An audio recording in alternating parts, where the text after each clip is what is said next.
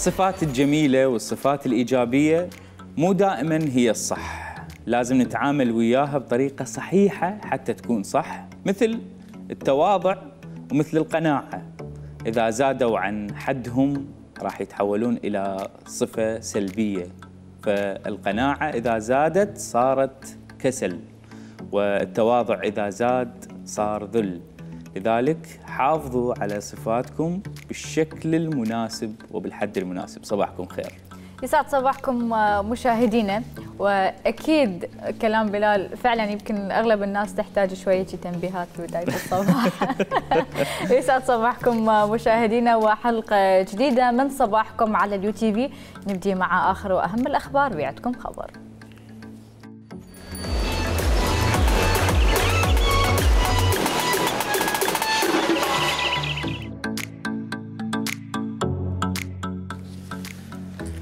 أول الأخبار توقعت اللجنة المالية النيابية إقرار قانون الموازنة العامة في آذار من العام 2023 المقبل بعد أن ترسل أو ترسل من الحكومة إلى البرلمان. ومن المقرر أن تتضمن الموازنة العامة تخصيصات لدرجات وظيفية جديدة بالإضافة إلى رفع أعداد المشمولين في رواتب الحماية الاجتماعية.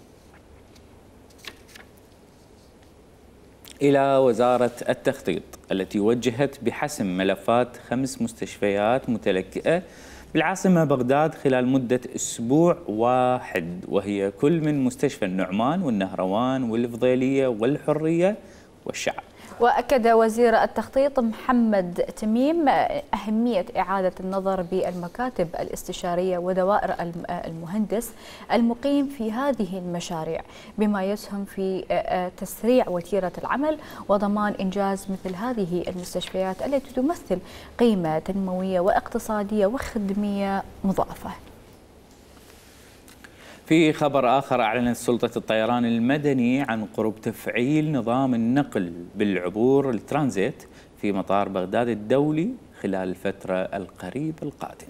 بيان لسلطة الطيران أكدت أن صالتي بابل ونينوى ستكونان محطتين للنواقل الوطنية في البلاد في تنفيذ رحلاتها بالعبور على أن يتم استكمال جميع الإجراءات لخدمة النواقل الوطنية العراقية والمسافرين وتطوير آليات العمل في المطار. أعلنت مديرية المرور العامة عن تسجيل نحو سبعة آلاف حادث مروري منذ مطلع العام الحالي فيما أشارت إلى أن ارتفاع عدد الحوادث المرورية يعود لثلاثة أسباب هي السائق والمركبة والطريق. المرور أوضحت أيضا أن الطريق إن لم يكن معبدا ويحتوي على التخسفات ولا توجد فيه سياج أمني فإنه يتسبب أكيد بحوادث مرورية. كما الحال مع المركبة التي لا تحتوي على شروط المتانة والأمان بالإضافة إلى القيادة بسرعة جنونية. مشاهدينا هذه كانت آخر أخبارنا بعدكم خبر. خلونا نروح نشوف شنو أخبار الطقس لهذا اليوم ونرجع لكم.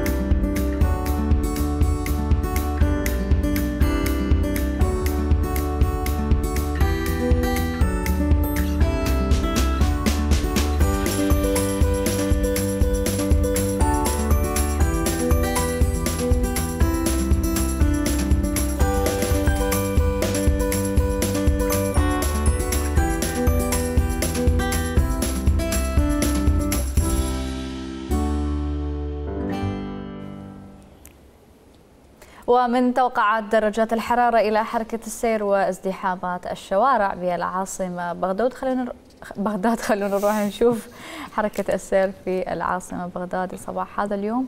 ونرجع لكم.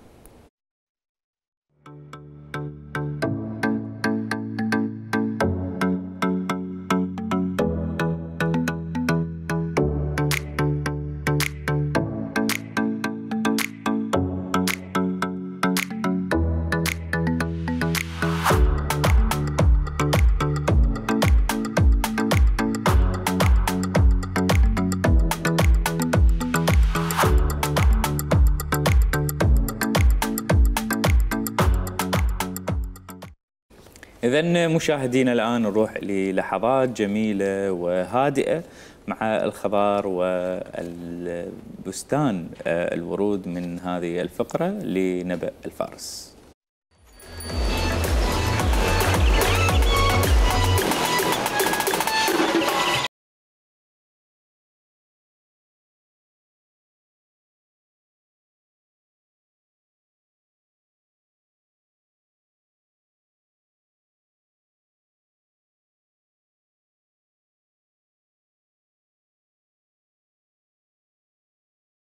مشاهدينا اليوم راح نحكي عن نبات داخلي ظلي واللي هو نبات الفيلودندرون نوع البيركن أو الاسم الثاني له الموجة البيضاء. طبعا موطنه الأصلي هو البرازيل. هاي النبتة تعتبر من النباتات الجديدة والحديثة بعالم النباتات اللي اكتشفوها مؤخرا. آه، طبعا هاي النبتة يفضلها أكثر مصممين الديكور بالمنازل أو بالمكاتب لأن تنطي جمالية وتكمل الديكور. يتميز البيركن بشكل كلش مميز وجذاب. مثل ما تشوفون هنا تتميز بأوراق خضراء مخططة بلون الأبيض. طبعا هذا اللون كل ما آه، تكبر النبتة كل ما يتغير هاي الخطوط. يعني راح تحسون شكلها يتغير بين فترة وأخرى. وهاي الخطوط تتغير حسب عمر الورقة. وطبعا كل ما تكبر النبتة الأوراق الأول الأوراق القديمة راح تكون لونها أخضر. كل ما تكبر النبتة وتطلع أوراق جديدة تبدي الخطوط البيضاء تبرز وتكثر. أما العناية بهذا النبات فهذا النبات من النباتات نوعا ما مقاومة بس إذا اعتنينا بها بشكل جيد. هذا النبات يعتبر من النباتات أيضا البطيئة النمو. فراح نخليها بأي جزء موجود أو ركن موجود بالبيت ما راح نهتم لأن هي بطيئة النمو. بالنسبة للإضاءة تحتاج إلى إضاءة نوعا ما قوية فيا أما تكتفي بإضاءة البيت أو قريبة من يم الشباك بعيدة عن الشمس المباشرة. بالنسبة للرطوبة تحتاج إلى رطوبة عالية توصل من 60% إلى 70% رطوبة. فننتبه كلش إذا البيت ما بيه رطوبة ممكن نرشها كل يومين إلى ثلاث أيام بالمي. بالنسبة للري هذا النبات ما يحب المي الزائد عن حاجته. فننتبه للري المنتظم.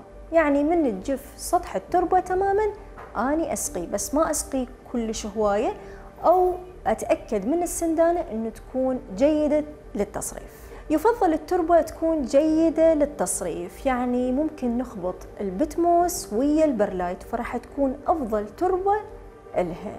أما التكاثر فهو يتكاثر بالعقل الساقية يا أما عن طريق الماء أو عن طريق غرسها بالتربة مباشرة وراح يطلع لنا نبات جديد.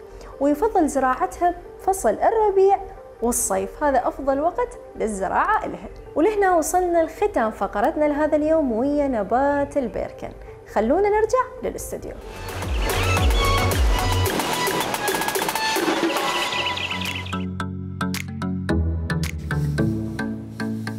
شكرا جزيلا نبأ الفارس. شكرا لكل هذه المعلومات الحلوة اللي صارت صراحة مهمة لكل شخص ممكن عنده نبات داخل المنزل.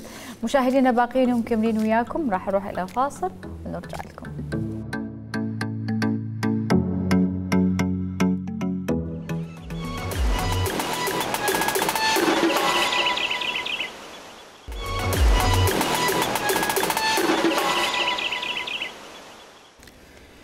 في كل لحظة يتطور العالم ويتغير ويعود سبب هذا التغير بالدرجة الأساس إلى التطور العلمي والتقني اللي انعكست آثار على كل مفاصل الحياة وسهلت أمور كثير من الناس واللي منها التقنيات العلاجية بمختلف الاختصاصات الصحية.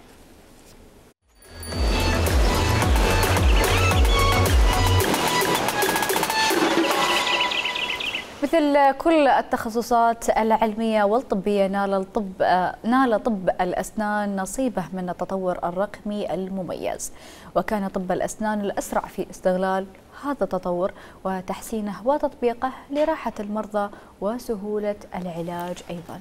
طبعا من ضمن هذه التطورات آه، هي استغلال العالم آه، الرقمي أو استثمار العالم الرقمي للحديث في طب الأسنان وحتى نتحدث أكثر عن هذه التقنيات وعن طرق الحديثة للعناية بالأسنان وعلاجات المشاكل ويانا اليوم دكتورة ضحى حسام أهلا وسهلا بك أهلا وسهلا بك أهلاً شلونك. دكتورة؟ بخير الحمد لله الله يسلمك طب الأسنان شلون بالعراق؟ زين يسلم عليك نشطين أنتم كلش مو؟ لازم هيك ليش؟ بالذات طب الأسنان يعني دا يتطور بشكل مخيف خلال العشرة 10 أو 20 سنة الأخيرة. إي. والتطور كلش بيه فائده للطبيب وللمريض. وبس حلو إنه يعني نشوف هذا ال- يعني هذه الشريحة من ال- الأطباء اللي هم أطباء الأسنان.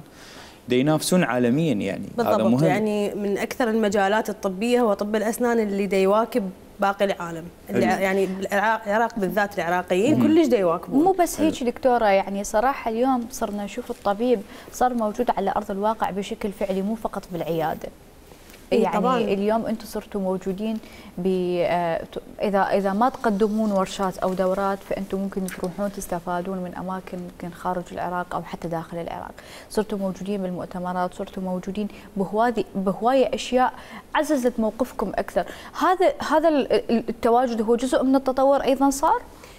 آه، هو جزء من التطور بس أكو شغلة ثانية إنه كثرة الإعداد لأطباء الأسنان خلت يصير هذا التطور وهذا التميز. يعني حاليا اللي يريد يبرز بمجال طب الأسنان لازم يسوي شيء مختلف.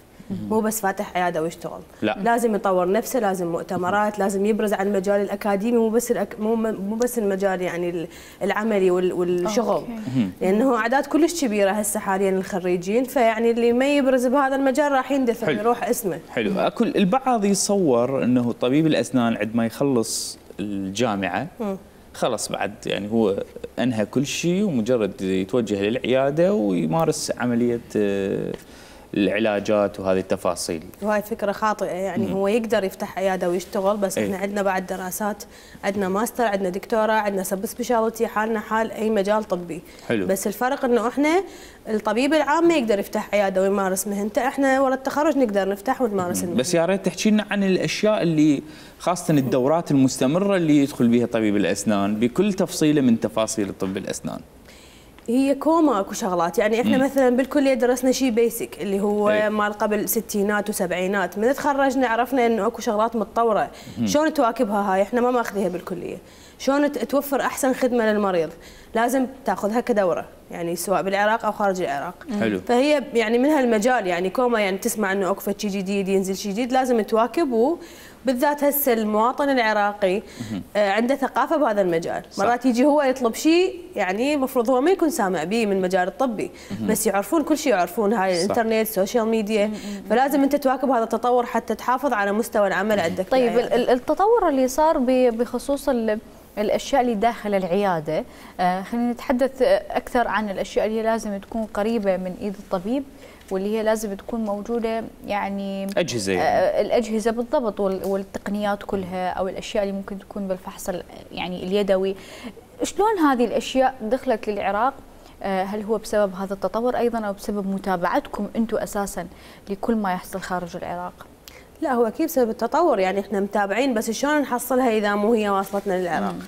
أكو مستثمرين أكو ناس دا تشتغل بهذا المجال دا يجيبون كل شيء جديد من برا ودا يتوفر للطبيب.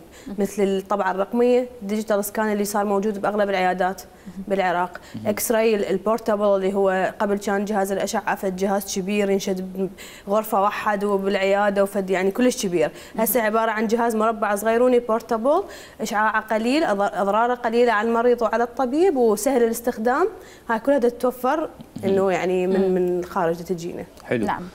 شنو اللي ضاف آه، اليوم؟ طبيب الأسنان آه، أهميته شنو ضافها للناس؟ يعني شلون سابقا يعني كانوا. مجرد يشلع سن إيه. طبيب الأسنان. أي. هاي أقوى شيء يعني, يعني الواحد ما يروح لطبيب الأسنان بس من سنه يوجعه يريد يشلعه أصلا. اليوم شنو اللي ضافها؟ شنو التغييرات هسه اللي حاليا صارت؟ كل شيء يقدر يسوي طبيب الأسنان. يقدر يزرع سن يقدر يحافظ على سن ما ينقلع يقدر يعني على سبيل المثال كانت قبل أكو أدوات حشوات الجذور إذا تنكسر داخل الجذر خلاص هذا السن بعد ما له حل زين. لأنه هي عبارة عن فتشي بالمليمات بقد الشعرايه تنكسر داخل جذر السن يعني فمنو يوصلها منو يطلعها. صح. بالضبط. ومرات تنكسر بالجزء الأعمق من السن اللي هو بال يعني بالجذر نفسه. زين. هسه حاليا هاي اتطورت. اكو هسه حاليا يعني أخصائيين حشوات جذور إيه. وبطرق معينة أدوات معينة يقدر يطلعها لوين ما فايتة هاي القطعة الصغيرة ويرجع يكمل علاج السن. مثل ما كان. فالقلع صار حل أخير جدا إلا اللي كلش ما بي أمل يلا ينقلع.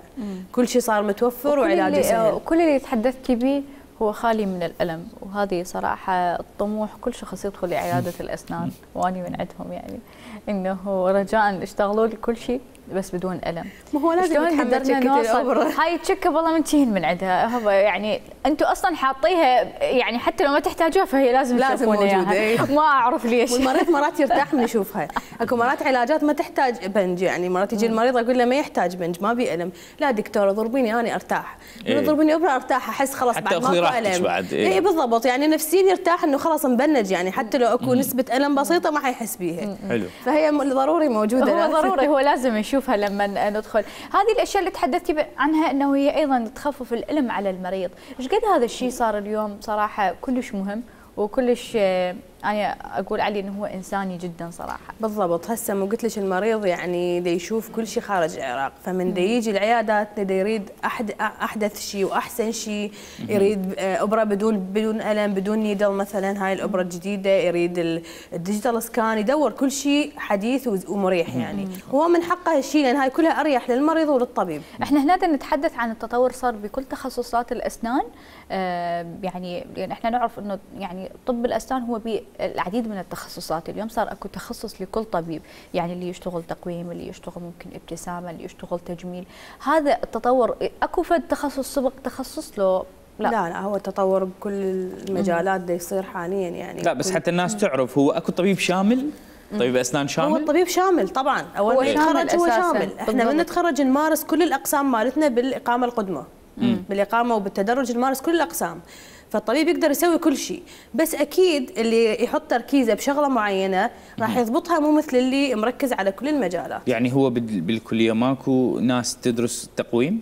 وحد ماكو، لا. تتخصص؟ كلية عامة. نطلع كل شيء. مخر... مخلص يعني مخلصين كل شيء ونشتغل كل شيء. يعني ماكو تخصص بمرحلة ال- لا لا الجامعة. لا, لا ماكو بالكلية. ورا الكلية يبدي التخصص بماستر ودكتوراه ودبلوم يعني حاله حال أي كلية بيها تختص بمجال معين بطب الأسنان. بعد ليش يقولون إنه الطبيب لازم يختص بال- بجزء من هذه الأشياء؟ ما يقدر الطبيب يمارس كل هذه الأمور بشكل آه، يعني عالي المستوى. مو هو أنا جاوبتك هسه على هذا السؤال. إحنا نقدر نمارس كل شيء من نتخرج. بس أنت من تركز اليوم على شغلة معينة. تظل مثلا على سبيل المثال خط. اللي اللي يظل يخط يخط يخط فد سنتين ثلاثة وتتدرب ايده أكيد ما راح يعني يتقن الخط مثل اللي مثلا آه، عنده شغل ثاني. صح. فأنت كل ما تركز على شغلة واحدة راح تتقنها أكثر من غيرها. فحاليا هو أنه الأحسن أنه كل واحد واختصاصه كل واحد والشيء اللي هو هاويه أو مفضله راح يتقنه أكثر من غيره. يبدي يدخل بيه دورات بالضبط دورات أو دراسات ايا كان يعني الشيء نعم. اللي هو اليوم بيه. اليوم وجود ال- العنصر النسوي صراحة بطب الأسنان أو بالطب بشكل عام صار كلش له حضور آه، صراحة ملفت جدا. يعني إحنا ما نتحدث فقط عن العيادة ممكن إنه هي موجودة بعيادتها. إحنا نتحدث أكثر عن أرض الواقع إذا كان بالمؤتمرات إذا كان بالندوات إذا هي تنطي أو إنه هي تأخذ ندوة أو دورة. آه، إيش قد هذا الشيء صراحة اليوم صار مهم وهو جزء من التطور اللي نتحدث عنه حاليا؟ طبعا آه، طبعا أريد أوجه شكر للدكتورة وسن المعيني هي من أول الدكتورات اللي بدأت بهذا بهذا المجال يعني كفيميال للبنات إنه حاليا هي كانت محاضرة محاضرة عندها يعني بمؤتمر دكتور رافع الجبوري. فيعني هي كانت ال- ال- خلينا نقول القدوة لل- للبنات اللي بمجال طب الأسنان. حلو. وهذا مهم الموضوع. طبعا هو هذا مؤخرا صار يعني خلينا نقول بآخر 20 سنة بآخر 15 سنة أو 10 سنوات صار إنه الطبيب العراقي هو اللي ينطي محاضرات هو اللي آه، يقوم بدور الأستاذ وهذا مهم. إحنا خلينا نقترب أكثر. من آه، المؤتمرات. وناخذ آخر مؤتمر صار في بغداد اللي هو سمي باسم آه، الدكتور رافع الجبوري اللي هو أول نقيب أطباء أسنان في العراق بعد 2003 بدورته الخامسة. شاركت بالمؤتمر عدد من آه، الدول العربية والأجنبية. وسعى المنظمون إلى تبادل الخبرات بين أطباء الأسنان العراقيين ونظرائهم من الدول المشاركة خاصة أن العراق يشهد تطور تقني وفني كبير في مجال طب الأسنان. علي مروان كان موجود بهذا المؤتمر وجاب لنا هذا التقرير.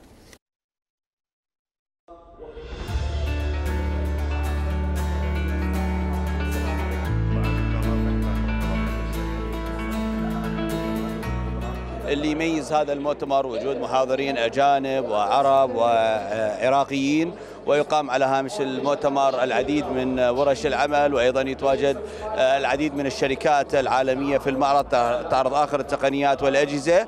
بالنهاية يتواصل طبيب الأسنان العراقي ويا أحدث التقنيات وأحدث ما وصل العلم في مجال طب الأسنان. أيضا اليوم عندنا أكثر من 2000 مشارك. من أطباء الأسنان من مختلف محافظات العراق بالإضافة لمشاركة عربية للنقابات العربية لأول مرة من أكثر من 20 سنة لم يحضروا إلى بغداد.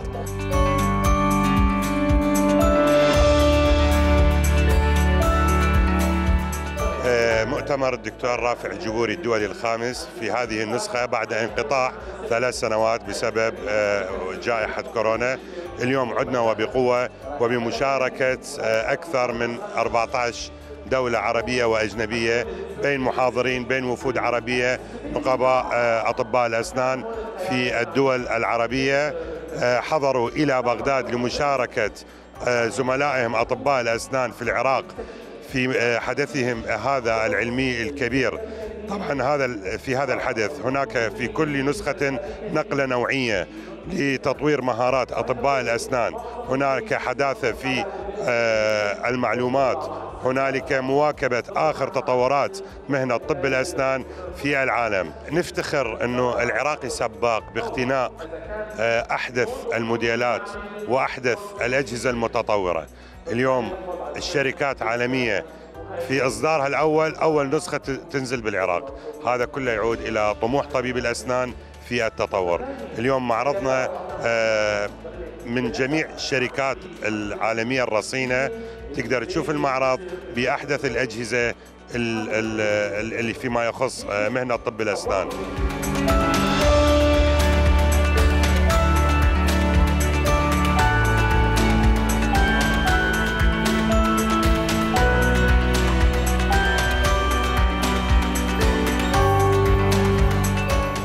المؤتمرات في طب الأسنان هي الفرصة الوحيدة اللي بتجمع أطباء الأسنان إن هم يتعرفوا على الجديد في طب الأسنان لأن طب الأسنان ده علم حديث ومتطور وكل يوم فيه جديد. وبالذات التطبيقات الرقمية في طب الأسنان. فما فيش فرصة إن إحنا نتعرف على المحاضرات أو التقنيات الجديدة غير بوجود مؤتمرات ومحاضرين أجانب يعني من خارج العراق عشان تبادل الخبرات وتبادل المعلومات. فهي دي الفرصة اللي بتجمع فيها كل أطباء يعني الناحية طبعا الاجتماعية والناحية العلمية دي أساسية. بالذات المؤتمر ده يعني لذكرى شخص عزيز علينا جميعا دكتور رافع الله يرحمه. فدي فرصة مناسبة جميلة جدا لينا يعني إحنا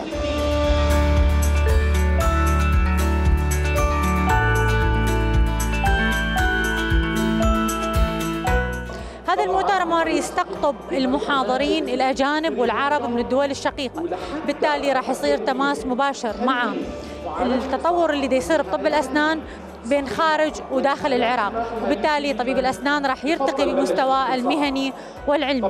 وهذا الشيء يعود بالإيجاب على مهنة طب الأسنان بالعراق.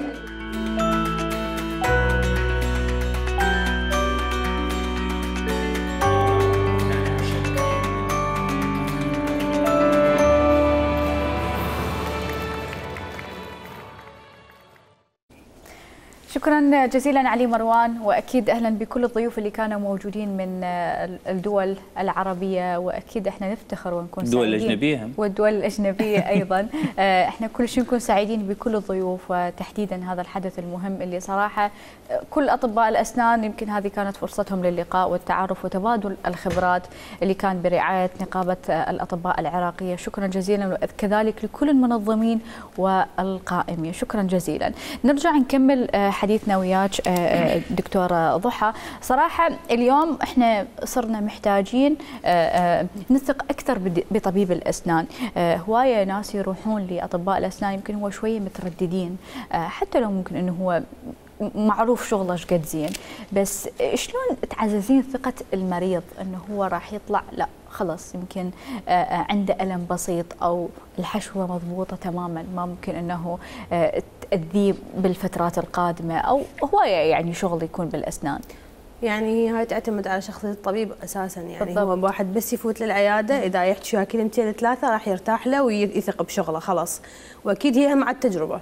يعني ما تفيد إنه أنا يقولوا لي فلان طبيب زين أو شكله موثوق لازم إلا يجرب المريض يمه مرة يرتاح على شغله يلا راح يثق بيه ويصير. يعني علاقة ثقة بينه. وبين المريض. هسه شوي نعتب لو لا. تفضل. إيش عندك عشان سمعنا. ليش طيب أطباء الأسنان هواية من الأطباء آه، صاروا يتجهون للتجميل؟ حقن بوتوكس و filler و... يصير اعتب وياك اني إيه. صراحة أنا ضد هذا المجال كلش يعني. أها. اي آه، إحنا أطباء يعني حرامات صراحة إي إي يعني. إي. طبيب الأسنان يعني مع احترامي لكل الاختصاصات بقى إحنا نجي للواقع انه إيه. طبيب الاسنان هو يعني عنده لمسة فنية بهذا المكان بالذات لأنه زين. إحنا أكثر ناس ندرس هذا يعني خلينا نقول الثلث ال- ال- ال- لا لا مو هو صار الوجه. على كل الوجه يعني هو إيه. نوعا ما يعني إيه. شغلنا خلينا نقول بس آه، يعني هي فلوس حلوة. هاي بكل صراحة يعني هذا الجواب إيه. فلوس حلوة ف هي تخليه يضطر إيه. إنه يترك الأسنان واللي ويتوجه هي. العالم هم متوجهة حاليا للتجميل يعني صار لها وهو هم عنده جانب تجميلي. هبه طويلة يعني هبة كبيرة الأسنان هم. هم تجميل يعني الأسنان وابتسامة إيه وهذه هذا مو- كله تجميل أوكي بس أنت ذيك يعني أسهل وأسرع لا أنت هسه من تطلع للشارع تشوف إيه. تس... تسع تسعة من أصل عشر بنات مسويات filler صح بينما واحد من أصل عشرة اللي مسوي ابتسامة وأقل. أقل فالتوجه للتجميل حاليا هو أكثر من تجميل الأسنان يعني. اذا أنت ضد. أنا ضد. ضد إنه أنت تشتغلين لو ضد أيضا إنه أنت تشوفين بقية ال- الأطباء إنه هم تخصصهم طب أسنان كل واحد حر بمجاله بس أنا ضد إنه أني أشتغله يعني. كل واحد نعم. وهوايته واللي يحب يمارسه بس أنا أنا مركزة على طب الأسنان تجميل الأسنان وبس. يمكن لأن تحبيه أحبه ويعني لا لا صار- هو صح. صار هسه قليل صح طبيبات بالضبط. أسنان اللي دا يشتغلون أسنان. فيعني ليش يعني؟ أنا أحب هذا المجال. ليش دا أروح لغيره؟ ما عرفنا شنو تخصصك بالضبط دكتور. أنا بعدني ما درس اختصاص بس certificate ات هاي طبيعي يعني تقويم شفاف آه، تجميل أسنان آه، فينير ابتسامة كلها هاي ماخذة بها certificate ات. نعم. اليوم آه، ب- ببساطة ال- ب- صحة الأسنان صارت هي مطلوبة من الجميع من بداية ال- خلينا نقول من من الأطفال من مرحلة الطفولة. آه، شو وقت لازم العناية تكون أكثر شديدة؟ آه، بتقدم العمر يعني ممكن نبلش من الأطفال؟ لازم. تبلش من أول سن يطلع للطفل. إحنا نسميها ال ال يعني ال- اللي هاي أكو تسوس يصير مال baby bottle feeding اللي هو هذا اللي تصير الأطفال اسنانهم سوداء كلها. أي. هذا يبدي من أول دقيقة أول لحظة يطلع بها السن.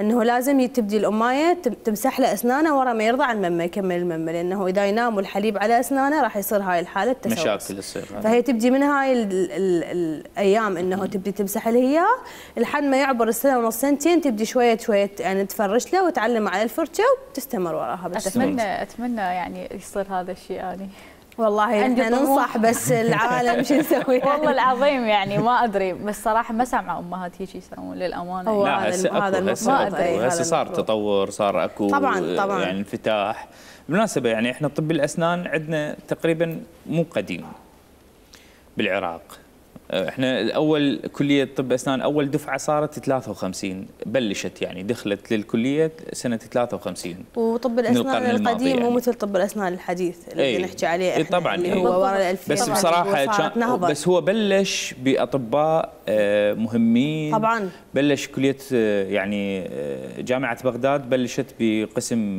طب الأسنان من سنة 53 بأطباء حتى من بريطانيا ومن فعلاً. بقية الدول الأجنبية وقدرت تخرج تخرج أول دفعة تقريبا ما يقارب بين 28 ولد شاب و10 إلى 15 بنية.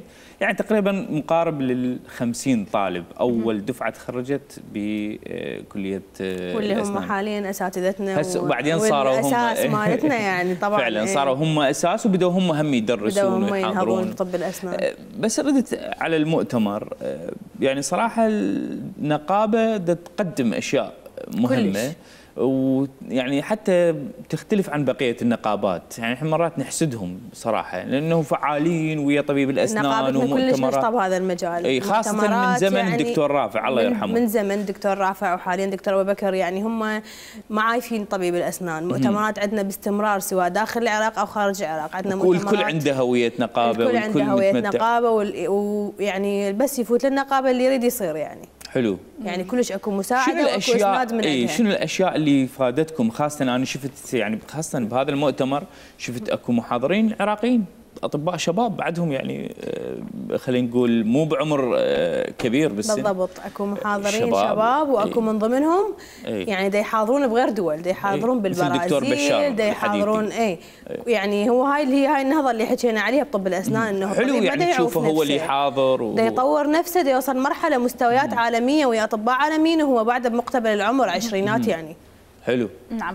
آه، ضحى صراحة يعني الموضوع دائما يكون يعني بهواي أشياء وهواي سوالف إذا نريد نتحدث عن طب الأسنان أكيد طبعاً. وأكيد آه، أطباء الأسنان ما يقصرون دائما وابدا. تبقون أنتم اللي تقدمون دائما أفضل الأشياء لكل. شخص ممكن يعاني من شيء دكتورة ضحى سامر رأي سعيدين بوجودك اليوم ويانا. شكراً جزيلاً. أهلا. وسهلا مشاهدينا نتمنى لكم أكيد الصحة والعافية والعناية أكيد بالأسنان باقين ومكملين وياكم راح نروح لفاصل ونرجع لكم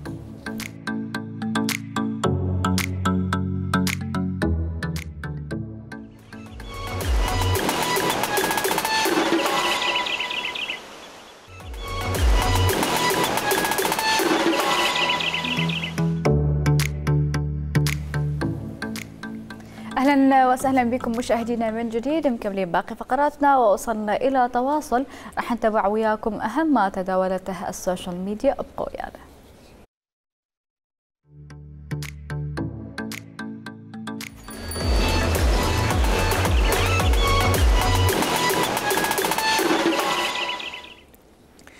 أبرز الفيديوهات اللي تداولتها ال social media مواطن من محافظة ذي قار هو يحتفل بإنشاء المجاري بمنطقتهم وقام بنثر الشوكليت على عمال البلدية وآلياتهم احتفالا بعد طول انتظار.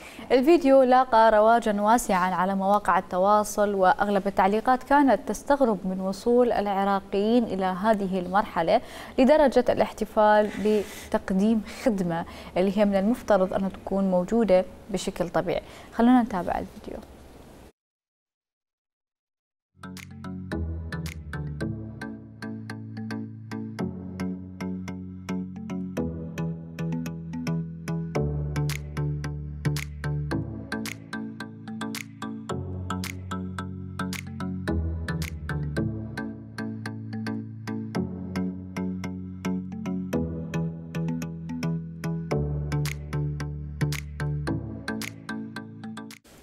طبعا العزايم آه، موجودة بكل البلدان ونسمع بها دائما وهي العزيمة لها وقع خاص. بس أكو عزايم شوية تختلف. هالمرة هذه العزيمة الفخمة كانت للقردة ضمن مهرجان القرود السنوي بمدينة لوبوري وسط تايلاند. بهدف إظهار الامتنان لهذه الحيوانات اللي هي لها دور كبير بتنشيط السياحة بهذه المناطق وسط حركة المرور الصباحية بالمدينة وضعت آه، تماثيل لقرود تحمل آه، صواني خارج آه، ساحة مجمع المعابد الثلاثة القديمة الشهيرة بينما أعد متطوعون طعاما عبر الطريق. نعم. وركضت حشود من قرود المكاك ذهابا وايابا وكانت تتشابك على الطعام مع بعضها واحيانا وتزايدت حشود الزوار والسكان المحليين لمشاهدة المهرجان حيث آه، آه، آه، تعد القرود رمزا لمقاطعة لوبوري. نتابع.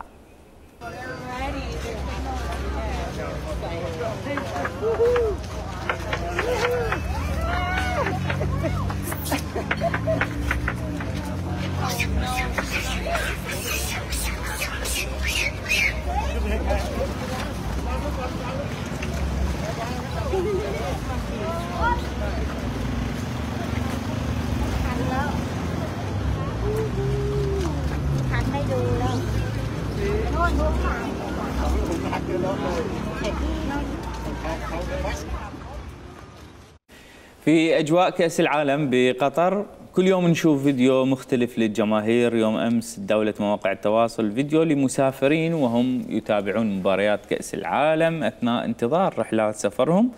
بمطار حمد الدولي بالعاصمة القطرية الدوحة. وظهر عدد من الأشخاص في الفيديو وهم يسترخون في مكان آه، خصصه المطار لمتابعة آه، مباريات كأس العالم بطريقة غير تقليدية. ممكن آه، تتابع المباريات وأنت مستلقي نتابع حاليا مثل ما نشوف الفيديو يعني بكل أريحية تامة ممكن أنه أنت تشوف المباريات. طبعا أكيد بمختلف قومياتهم وأديانهم أكيد هم جايين متوجهين إلى كأس العالم أو لحضور المباراة وممكن هم غادرين أو وافدين طبعا تثبت إن الرياضة بكل مرة إنها جامعة للشعوب بمختلف قومياتهم وأديانهم وتوجهاتهم الفكرية، فضلا عن ذلك فهي تذهب أو تهذب النفس وتنمي القدرات. خليكم ويانا وموضوع يهم الناس ويهم الرياضة.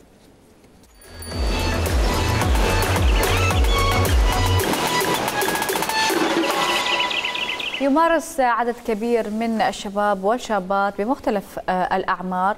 يمارسون أكيد مختلف الرياضات واللي منها رياضة كمال الأجسام اللي تلاقي إقبال كبير من المهتمين بالحصول على قوام ممشوق وبنية جسدية قوية. وفي سبيل هذا يتجه الشباب إلى صالة الرياضة لغرض حرق السعرات وبناء العضلات أيضاً. لكن بالنسبة للبعض التمارين والنظام الغذائي المتزن غير كافي فيتوجه إلى استخدام ما يسمى بالمنشطات الرياضية أو الهرمونات. ما هي هذه الهرمونات؟ وهل يجوز إدخالها إلى الجسم بهذه الطريقة؟ ومتى تكون ضرورية؟ الأسئلة كثيرة والإجابات راح آه، نسمعها من كابتن صفاء محمد الفرطوسي. أهلا وسهلا بك. أهلا وسهلا بك كابتن. أهلا بك. شلونك كابتن؟ والله الحمد لله. تمام. إن شاء الله متمرن الصبح؟ لا. آه. حد يتمرن الصبح. المفروض الرياضي يتمرن الصبح. يعني بس تلين برنامج. تمارين مقاومة وتمارين الحديد أنت تحتاج تاكل عدد وجبات حتى توفر سعرات تعطيك طاقة تتمرن. يمكن حلو. تلعب تمارين هوائية فقط الصبح. حلو. إحنا اليوم موضوعنا عن الأشياء خلينا نقول اللي تصير والما تصير إيه. هو أكو شيء يصير وأكو شيء ما يصير؟ هو أكو شيء ما يصير. اي بس جاي يصير بالعراق للاسف جاي يصير يعني جاي يصير باقي كل كل الدول تقريبا. إحنا خلينا نحكي بواقعيه إيه. هسه اللي يلعبون آه، حديد ويتمرنون حديد هو المشكلة من يدخل للجيم تمام. بعد يندفع. إيه. يشوف الوضع يشوف الأجسام يشوف الأوزان. هنا بعد يدخل بال mood. يعني للأسف إنه مو بس هذا حتى بال social media. يعني جاي تروج أو الناس هسه فقط عبارة عن مظاهر. فلما نشوفها شاب صغير يريد يصير هيك يعني نشوف جسمه حلو. وحتى البنات لما تشوف وحدة جسمها حلو شكلها تبدأ تتجه لعمليات تتجه لها فنفس الموضوع بالنسبة للولد واستخدام محسنات الأداء اللي آه، هي عبارة عن هرمونات ومنشطات آه، اللي منتشر عندنا بلعبة كمال أكثر شيء هي الهرمونات اللي هي مشتقة من هرمون الذكورة التستوستيرون. يستخدمونه حتى يزيد الأداء الرياضي. الهرمون التستوستيرون هو المسؤول عن البناء العضلي وهذا اللي يخلي البنيه ما تبني عضلات والولد يبني عضلات. فيبدون ياخذون جرعات عالية من هذا الهرمون حتى يبني الكتلة العضلية اللي يشوفها هو مناسبة. هو السرعه عنده السرعه هو هي المشكلة هي هذه يعطي بسرعة يعطي شكل مع الأسف يعني أنت لما راح تستخدمها صحيح يجوز تحصل نتيجة أول مو هسه اللي يسمعك يقول لك كابتن يعني أنا شلون أقدر أوصل لجسم معين بدون هذه الهرمونات؟ تقدر ماكو شيء اسمه تقدر. أي. لما تلتزم نظام غذائي لفترة طويلة لما زين. تتمرن يوميا تمارين قوي مو تمرين شلون مكان لأن مع الأسف لما يستخدم هذه المواد يبدأ يتمرن هو الصدق فيشوف نتيجة. مع العلم إنه ممكن يتمرن نفس التمرين اللي جاي يستخدمه هو اللي ما جاي يستخدم وهم يحصل نتيجة. أنا أقول لك لما تستخدم هذه المواد راح تعطيك نتيجة أسرع نتيجة ما تقدر توصلها كشخص طبيعي لكن بالنهاية لها مضار و side effect بالهبل يعني. نعم. آه كابتن هي المشكلة مو بالمكملات. قدر ما المشكلة بطريقة أخذها وأوقات أخذها والعمر المناسب هواي ناس صارت تتخذ المكملات أو تأخذ الهرمونات أو المكملات لا إحنا خلينا نفصل. المكملات أكيد واحد والمكملات واحد. المكملات هي فيتامين. المكملات هي عبارة عن بس إذا زادت عن النسبة المطلوبة بدون متابعة مع التحاليل احكي لي على المشاكل.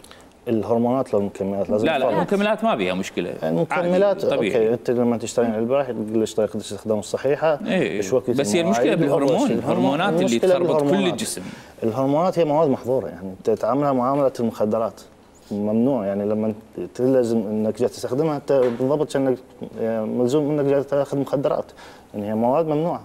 زين. آه وللأسف حتى مو بس بالرياضات كمال الاجسام كل الرياضات تقريبا بها هذا استخدام هاي الهرمونات لأن هم يستخدموها لهدف تحسين الأداء الرياضي زين. كشخص رياضي. للأسف يعني آه معظم هاي الرياضات لازم تستخدم بها أكو رياضات أصلا ما تطرا على البال يعني مثلا رياضة الشطرنج الناس تستخدم بها هاي المواد.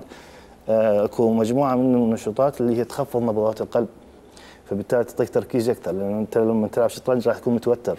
وما تعرف يجوز الخطوة الجاية اللي راح زين. تلعبها. هسه إحنا خلينا نستغل الفرصة ونستثمر الفرصة إنه يعني مثلا آية والبنات بشكل عام.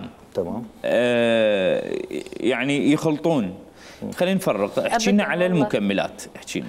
شنو المكملات هي عناصر المكملات؟ غذائيه فيتامينات معادن تقسم على عدة أنواع. فيتامينات ومعادن واكو مكملات المغذيات الكبرى. يسموها المغذيات الصغرى.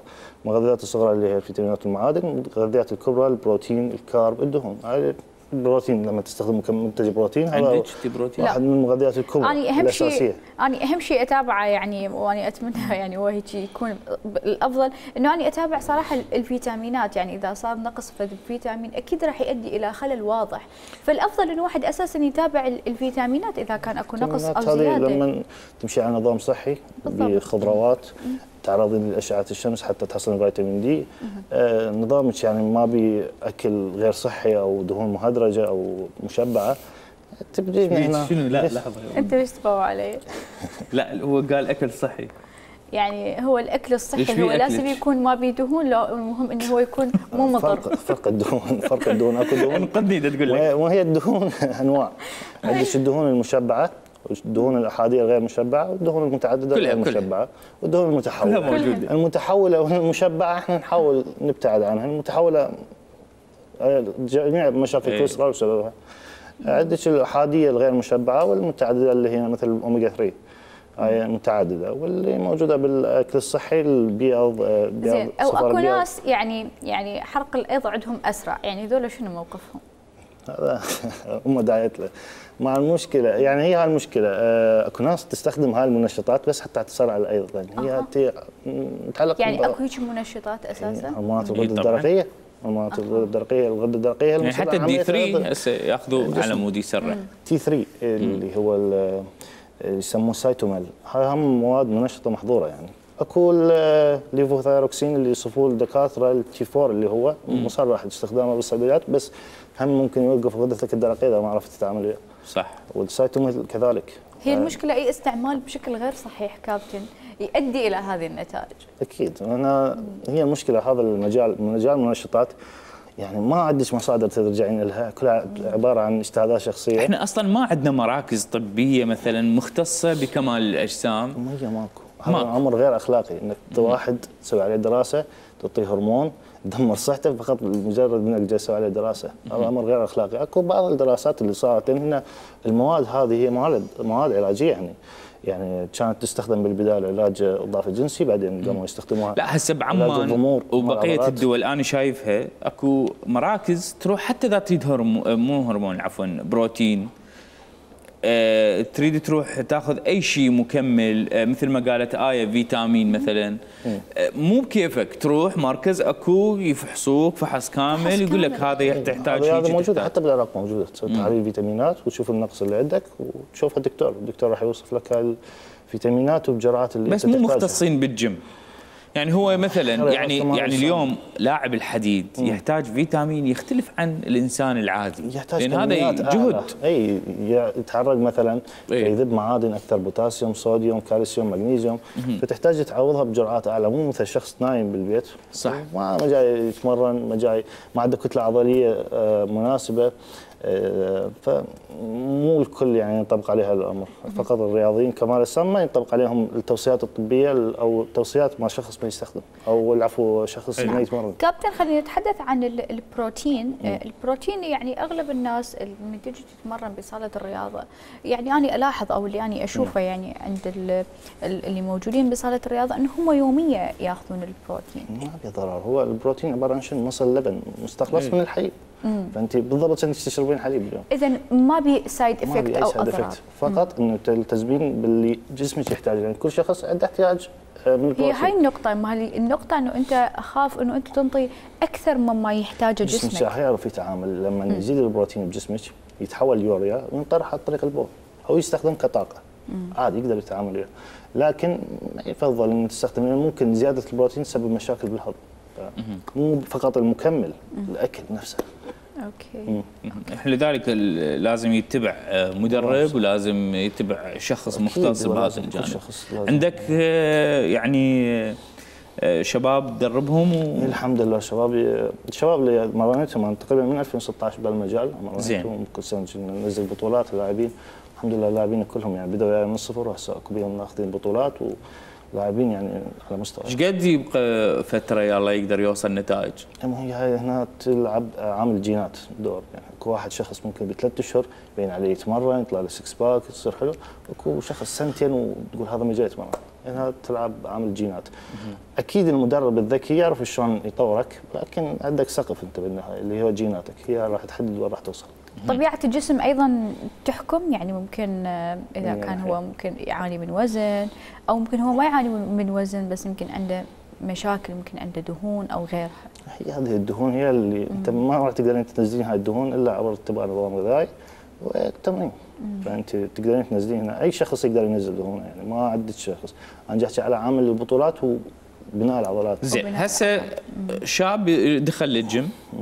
شنو المفروض آه، يحضر نفسه شلون يتعامل ويا المكملات شلون يتعامل ويا هذه الأشياء. اريد تنصح اللي لنا هي أنا وقعت بها بالبداية غلط. لازم نشوف شخص فاهم أو مدرب فاهم يحط لك الخطة. يعني انت مو بكيفك أنا تقريبا ثلاث سنين راحت من عمري بس أقرأ وأبحث وأدور حتى أعرف لأن ما ما عينت مدرب من البداية. بينما أنا معين مدرب من البداية كان اختصار عليها ثلاث سنين. ف أول شيء تشوف لك شخص صح تعينه هو راح يوصلك للنتيجه هو راح يرسم لك الخطة إذا باكر عقب انت تريد تصير بطل أو تصير تنزل بطولات هو الشخص المسؤول عليك هو الشخص اللي تحمل المسؤولية كاملة فهمت شلون؟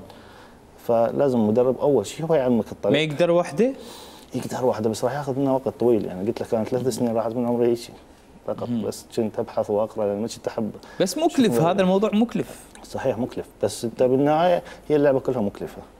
يعني شخص آه، واكو يعني مثلا أنت شخص تنزل بطولات أو شخص جاي تتمرن نفسك مو نفس المصاريف تصرفوها. أكيد الشخص جاي يتمرن نفسه أكله عادي آه، دجاج وتمن ما حد يقدر ما يأكل دجاج وتمن باليوم. إيه. بيض آه، يتمرن فقط هذا. ليش مثلا ياخذ منشطات؟ مثل شخص لما تستخدم منشطات التكاليف راح تصير بعشرة. صح. يعني الشخص قصدك اللي يتأهل وعنده بطولات أو يكون هو لاعب أكيد الوضع يختلف عن الشخص اللي يتمرن بشكل طبيعي أو ما عنده. هدف معين. اي أكيد. يعني أنت المصاريف قلت لك راح تختلف؟ هي المشكلة هي اللعبة مكلفة بكل الأحوال يعني حتى لو تحاولين تحدين من المصاريف هم راح تطلع رقم محترم من نهاية الشهر صار عليه هذا الحديث اللي اللي تحدثنا به هو ينطبق على البنات وعلى الشباب أيضا؟ نعم بالضبط. يعني ينطبق على كل الجنسين. حتى موضوع استخدام المنشطات أكو بنات تستخدم منشطات أوف. موجودة. واكو بنات أنا دربتهم كانوا يستخدمون المنشطات صح أكو يستخدمون بحيث يصير عندهم تحولات بالشكل بالهذا. قلت لك إحنا هسه حاليا يبقى هذا هدف يعني هي هدفها إنه هدف- يصير عضل اي إيه صح. آه، أكو بنات يعني مرات يريدون ينزلون بطولة. بطولات آه، كمال السام برا اللي إنه بكيني. لازم تستخدم منشطات. هنا هذا الدور. مدرب يعني الفاهم. والدارس يعطيك المنشطات ويطلعك بأقل ضرر ممكن. بأقل ضرر بالضبط. ماكو طريقة امن لاستخدام المنشطات لكن نعم. طريقه آمن شوي. إحنا كلش نشكرك. ونتمنى لك آه، بطولة قوية. شكرا شكرا لك. شكراً. صفاء شكرا جزيلا لك. شكرا لوجودك اليوم ويانا. مشاهدينا باقيين ومكملين وياكم. راح نروح لفاصل ونرجع لكم.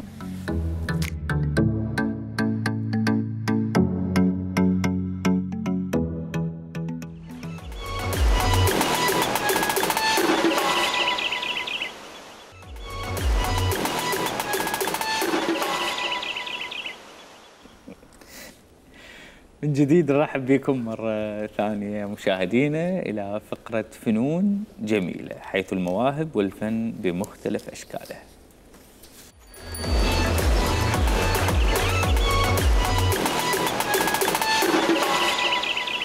المكياج السينمائي فن له مواضيعه ومواده وعناصره الخاصة اللي من خلال أدوات بسيطة يخلق الفنان تعابير معينة. وفي بعض الأحيان مؤثرات خاصة وحتى شخصيات خيالية. للحديث أكثر عن هذا الفن نرحب بضيفتنا رؤيا وجدي. أهلا وسهلا أهلا بك وسهلا رؤيا. بك حبيبتي. آه، رؤيا الحديث عن الفن السينمائي أو المكياج السينمائي اليوم هو صار موجود وكل ال- الأعمال تحتاجه أو كل أغلب التخصصات تحتاجه. أريد أعرف من وش وقت بلشتي وشنو السبب اللي خلاك تتجهين للفن السينمائي؟ لأن هو مو سهل ابدا. أه بلشت بيه من سنة 2020 أه بجائحة كورونا والحظر اللي صار. وبكورونا الناس كلها. بدعت. رسم وعزف أي، وكل شيء. فلقيت يعني إنه أنا عندي يعني سالفة بسيطة هي كانت برسم بسيط شفته على صورة وحبيت أجربه فضبط عندي وبلشت من عنده. أه اللي جذبني إلى إنه هو مختلف، أنا أحب الرسم بصورة عامة يعني، بس اللي جذبني إلى أكثر وخلاني إنه أحبه واطور نفسي به إنه هو مختلف يعني. شنو أول شيء سويتي؟ جرح بإيدي. ها, ها أنت هم من النوع اللي تسوين جروح أي هو وهيك؟ الجروح وهيك أشياء. حلو. فأول ما سويته جرح كان بإيدي وكان كلش بسيط. كانت بمواد أصلا كلش بعيدة عن مواد السينمائي مم. وضبط. هذا شغلك اللي دا نشوفه حاليا. أي هاي كانت بالهالوين على وجه رسمته. وكان أكو يعني أنتوا يعني الهالوين مالتكم. كيفون عيدنا. عيدكم هذا. وبلشت من عنده من هذا الجرح اللي سويته بإيدي وبلشت. زين. بداية أغلب ال- اللي يرسمون على أو اللي يتخصصون عفوا بالرسم السينمائي يفضلون هم ينقسمون قسمين. البعض يفضل أنه يرسم على وجهه وما يعرف يرسم على وجوه الآخرين بس هو يبدع على وجهه. والبعض الآخر بالعكس يبدع على وجوه الآخرين بس على وجهه لا. أنا أريد أعرف أنت قبل شوية قلتي أنه أنا راسمة على وجهي. فشلونها علاقتك مع الآخرين؟ هي بالبداية كانت إنه أني أول ما بديت الرسم على وجهي فتعودت إنه أني أرسم على وجهي صي أخذ يعني شلون إيدي أخذت وسيطرة إنه على وجهي. بس بعدين شوية شوية حاولت إنه أبدي أرسم يعني مثل ما نشوف حاليا. اي أخويا الأطفال اللي عندنا ظليت أرسم عليهم لحد ما تعودت إنه أرسم على وجه الآخرين أيضا. هي أكيد أكو بيها شوية هذا حلو. هسه هنا مو دم أعتقد لا هذا مو دم هذا كان رسم شوية هيك اي زين تجميلي. هو أنتوا شنو قافلين على الدم؟ لا مو هو الدم يعني ماكو رسم يعني هي انواع الرسم هوايه زين. بس ماكو رسم إنه يقدر يوصل فكرة الجرح أو الدم يعني على الورقة ما تقدر توصل زين. الفكرة مالته زين شكو ليش؟ إحنا. نريد نبتعد عن الجرح والدم وال- ما هو تضبط بيه أكثر أنتوا تقربونا أكثر أيوة ليش؟ بس هو حلو يعني ها حلو هو يعني بس يعني يمكن السبب إنه هو يعني الناس حبته لأن هو يمكن إنه إحنا نشوفه بالأعمال الدرامية أو نشوفه بالأفلام. بالضبط فيمكن هذا هم السبب إنه خلى الناس يكون عندها فضول. هو هيك يعني آه، بالمسلسلات هواي نحتاج الجروح والكدمات والآثار مال يعني مالات ال- الضرب وهيك شيء آه، مثلا عندنا أعمال العنف الأسري فراح نحتاجه هواية. فهو أكثر هي حياتنا ترى بها دم إي مو إحنا الفن مرات هسه okay يعني لازم مرات يجسد بعمل فني معين بس إحنا نريد شوية يعني ال- الواقع اللي يمر به. العراق خاصة واقع مؤلم صراحة صحيح. إحنا نريد نطلع من هذا الواقع نريد نشوف ألوان حلوة والسينمائي أنا أعرف آه، وأتابع فنانين أجانب صح يشتغلون سينمائي بالوان مبهرة. وجميلة وهيك تريح النفس صحيح. حتى الأطفال لهم لهم. حصة من ال- السينمائي صحيح. فكرتي تسوين هيك خط جديد هو حتى لو ورا اللقاء لا هو أكيد أنا يعني إيه. يعني دا أحاول إنه أكون في هذا الخط أحاول إنه أرسم اشياء بعيده عن الدم وعندي اني كم رسم يعني أي آه، بعيد عن الدم آه، مثلا يعني هواية هواية منو الأصعب؟ الدم. ليش؟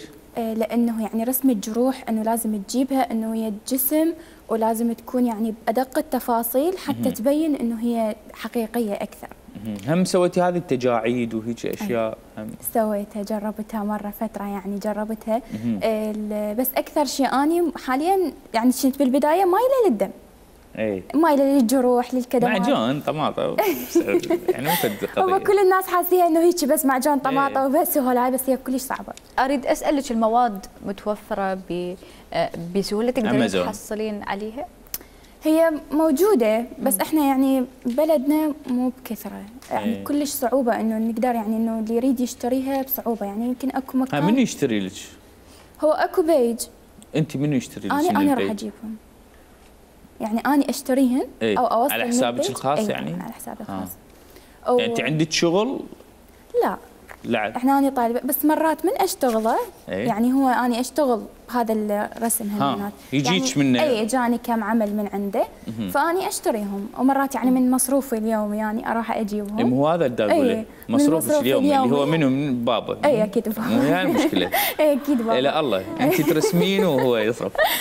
هو يعني من مصروفي اليومي. إيه. ومن قلت لك اجتني كم عمل يعني اشتغلتهم. حلو. والحمد لله. اذا أغلب التسوق اللي فهمته من عندك هو أونلاين يعني اي أونلاين. مثلا مكان أو متجر مكان. مهم اي يعني تشترين. كلش محددة وكلش قليلة يعني. عندنا إحنا بالعراق كلش قليلة يعني. فهاي يعني كانت الصعوبه يعني أنا بدي اعرف واجهتني. شنو مفكرة أنت بالمستقبل؟ يعني شنو حابة آه، تقدمين للفن السينمائي؟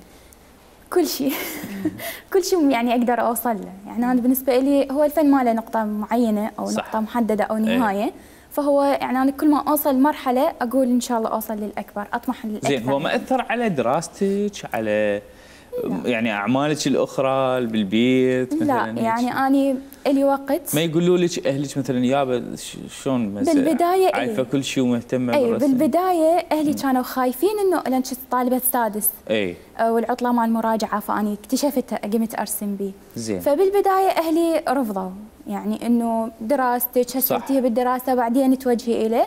بس أنا لا الحمد لله وفقت بين الدراسة وبين ما شاء الرسم. الله. هسه حاليا أنا كلية ونفس الشيء يعني موفقه. بين هذا وهذا يعني مخلية وقت للرسم أي. ووقت للدراسة ما سويتي. بالكلية شيء هيك لا بعدني إيه. بعدني ما بالتخرج. يجوز إن شاء الله. التخرج عليك هالمرة إن شاء الله. هاي حفله تنكرية مو عندكم بس ماكو لغوهن ها أي والله ماكو حرامات يعني ما ترجع- ترجع إن إن شاء الله. على حظي اختصاصك انت بعيد تماما عن الفن صحيح كلش بعيد مع ان أنا كانت أمنيتي إنه أروح أكمل فن وهيك. ليش ما دخلتي؟ أو انت شنو تخصصك حاليا وليش ما دخلتي فن؟ آه تخصصي هسه محاسبة إدارة واقتصاد. بس آه ما دخلت فن يعني ماكو يعني الشهادة مال الفن عندنا صعبة شوية يعني إيه. ما لها مستقبل مثلا. فشوية صعبة هيك. الهواية أيضا مو قليلة إذا واحد إي إي ممكن طبعاً. أيضا يطور هوايته. كملت محاسبة وإن شاء الله يعني ورا المحاسبة شهادة المحاسبة أدرسها. لأن أنا أخذتها كموهبة. شنو مصادرك؟ بالفن يعني؟ منين تاخذين هذه الأشياء الأوليات التحديثات تتعلمين الأشياء الجديدة؟ يعني مثلا أشوف ال- قلت عليهم الأجانب إي أقلب أشوف فد فكرة أخذ فكرة من كل فنان وأجمعها أنا على فكرتي هو كل ما شخص عندكم group هنا ببغداد بالعراق؟ يعني هم إيش أصلاً عجب يعني محددين. أنتم هواية هسه صرتوا المفروض تسوي لكم group يعني, يعني. محددين مو كلش هواية وكل واحد يعني بمحافظة كل واحد يعني عندنا هواية. إي بس حلو يصير يعني على الأقل هذا التلاقح الأفكار هذا ال- شاء الله مستقبلا إن شاء الله إنه يصير يعني هالشيء أكيد إحنا نتمنى لكم كل التوفيق. حبيبتي تسلمي. وشنو حابة إنه الأشياء اللي تتمنين تكون موجودة بالمكياج السينمائي ممكن أنت تطمحين إنه تتوفر أو تكون موجودة على الأقل. المواد. بس المواد, المواد. فعلا. المواد يعني هواية يعني هسه الفنانين اللي نشوفهم خارج العراق المواد اللي عندهم كلش حلوة ومتوفرة بكمية هواية يعني. تساعدكم على وأسعارها؟ وتساعد. وأسعارها مناسبة بالخارج. هنا. إحنا هنا بالعراق تجينا بسعر خيالي تجينا ب يعني بشكل قليل ومو بنفس الجودة اللي موجودة بالخارج. زين اكو أكو سؤال. هذا يعني لأن صراحة دائما نفكر به آه، خاصة أحمد هادي يفكر به هذا السؤال. آه، ممكن إنه ردتي تعطين صورة للهكر. شلون يعني؟ يعني تريدين تمثلين هذا الشخص هكر شنو تعطيه ملامح؟ شنو تسوي؟ يعني حسب هو الملامح اللي أنا شلون شكله يعني؟ شلون تتخيلين شكل الهكر؟ إيه شكل شخصية الهكر. شلون تتخيليه يعني عادي كل من هو تخيلاته يعني إيه هو اريد أعرف تخيلك أنت. شلون يعني يعني هيك يعني. مثلا شلون هذه؟ اي تقريبا يعني أنا اخلي فد فكرة ببالي إنه إيه. اريد اردتها تج... جميلة يعني أو بشعة أو هيك شيء زين. فاني راح أتحكم بها بالألوان. وعلى شمرة إيدي وهيك يعني. كل واحد وإبداعه وطريقته. حلو. يعني تقدرين تطلعين ممكن شخصيات إذا أحد يطلب من عندك شخصيات. يعني كذا شخصيات وهيك يعني. هي المشكلة إنه أكو ملامح تساعد إنه أغيرها وإنه أضيف لها ملامح إنه اسويها شخصية ثانية. أكو ملامح ما تساعد. يعني أكو ناس مثلا إيه، يعني شكلهم يمكن تراعين بالوجوه؟ تقولين هذا إي والله. بالضبط. يعني من يشوف مثلا شخص إيه. عنده فد شيء بوجهه إيه. راسا أفكر بيها إنه هاي أقدر أني أسويها يعني حلو. ك- هسه آية شنو. ممكن؟ شو لا لا شنو لا لا لا، شكلها كلش حلو يعني. بدون تخيلات أشياء بها دم. الله يخليك. لا لا مو دم. شنو بالله؟ لا يعني شكلها كلش حلو اي شنو تشتغلي لها مثلا؟ شنو؟ يا شخصية يا. يعني أشتغل عليها شخصيه إيه. لا أكيد تكون تجميلية يعني على وجهها الحلو هذا. آه هاي زين مجاملات. زين بلال شنو تشتغل؟ لا نفس أنا الشيء وين؟ كله لحيه وجهي. شو تشتغل؟ صدق ال- ال- العنصر الرجالي ش- شنو موقفهم بالمكياج السينمائي؟ أكو أكو يعني يعني- تشتغلين على وجه أو ممكن هو يشتغل على إي وجه أكو فنانين هواية رجال عندنا حتى بالعراق عندنا. آه وجههم يعني هم كرجال يشتغلوا على يعني يشتغلون هذا الرسم على وجههم. okay. بس أكيد يعني يخفون اللحيه والشوارب إي لازم طبعا لأن يعني هذا شرط أنه الوجه لازم تكون اي مساحته كلها. مساحته كلها فارغة. يعني إلا إذا وظفها بشكل صح يعني. بالضبط. لا هو يعني إنه الوجه حتى أنا هسه من أرسم الوجه لازم يكون مثل الورقة البيضاء. يعني ورقة عدلة بيضاء ويشتغل عليها. حلو. على مود يقدر يضيف التفاصيل اللي هو رايد يلا شنو محضرة لنا قريبا على رأس السنة؟ عندك شيء إن شاء الله. إن شاء الله. إن شاء مو الله هي أكيد. المشكلة إنه تجي يعني شلون فكرة على غفلة تجي. صح. اني أقرر فكرة يعني إيه. ثاني حد الآن أقرر فكرة رسم من أجي أفتح الألوان أرسمها أبلش أول خطوات للنص أغيرها. حلو. أغير الفكرة كلها تبدي جذريا تتطور كأنه إي تتطور. يعني هي من أسوي شيء أقول لا خل أجرب هذا حيطلع أحلى. إيه، يصير اجتهاد. تتغير الفكرة إحنا كلش نشكرك وسعيدين بيك ونتمنى. لك كل التوفيق. تسلم شكرا جزيلا لك رؤيا نتمنى لك كل. التوفيق. تسلمين شكرا. مشاهدينا وصلنا إلى ختام حلقتنا لهذا اليوم والختام مع الفن وتحديدا من آه، العنصر النسوي. أكيد مشاهدينا راح نلتقيكم يوم غد على نفس الموعد والختام مع بلال مع السلامة.